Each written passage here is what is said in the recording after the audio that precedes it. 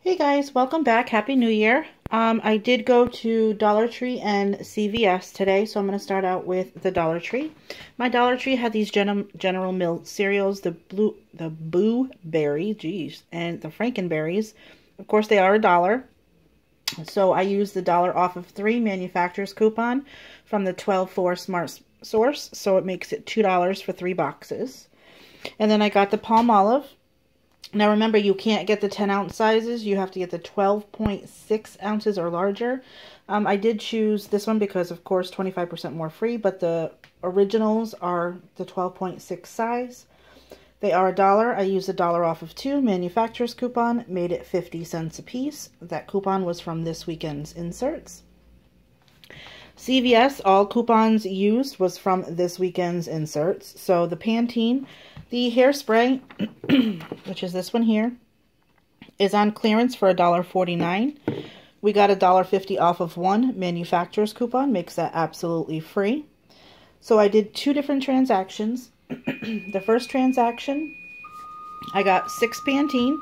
It's a limit one of the spend 30, get 10 per card. So what I did was I got six of the Pantene. They're on sale, three for 12. I used two of the five off of three manufacturer's coupons. And I used the two off of three Redbox coupon when I scanned my card today. And then to get to the 30, I added two of the Crest 3D Whites. They were on sale for $2.99. I did use two of the two off of one manufacturer's coupons. If you did not have any extra care bucks to roll, your total would be $13.98 out of pocket, and you'll get back $10 in extra care bucks, making it about 50 cents a piece. You can take that $10 and roll it into transaction number two. Um, the All and the Snuggle, they didn't have any of the liquid fabric softener, so I got the dryer sheets, are on sale two for six, spend 20, get five. Now, I could have only done 6, 12, 18, and then um, just one of those, but I wanted to be able to use my other uh, $2 coupon. So I did get four of the Snuggle dryer sheets and four of the all laundry detergents.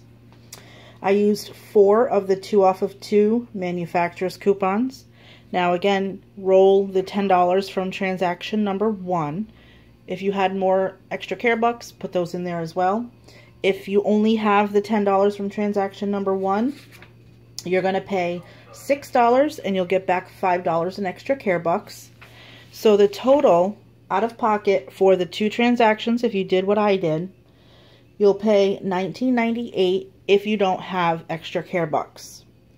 You'll have $5 left over to roll for next week, which makes it essentially $14.98 on 16 items or 94 cents a piece. So I figured that was a great deal this week.